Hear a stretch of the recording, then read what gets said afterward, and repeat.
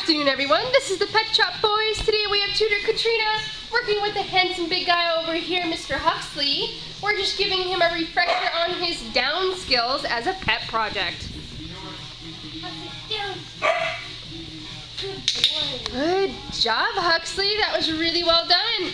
Well, I hope you enjoy the rest of your day at daycare. Bye now.